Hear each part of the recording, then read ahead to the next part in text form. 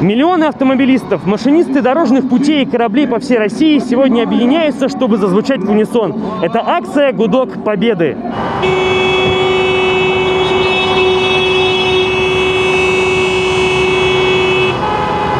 медленно едем по городу, чтобы все чувствовали, чтобы все это видели. А, Если честно, когда говорю об этом празднике, ну, у меня слезы на глаза наворачиваются.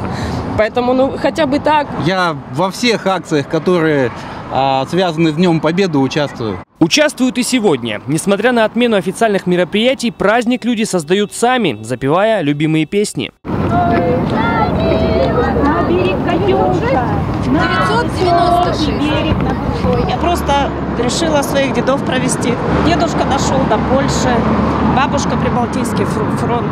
День Победы наш общий, российский праздник, наши деды.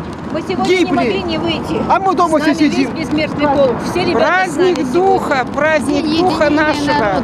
Да, сегодня нет митингов и торжественных парадов, но этот звук в очередной раз доказывает, что никто не забыт и ничто не забыто. Никита Ермаков, Александр Андропов. День с толком.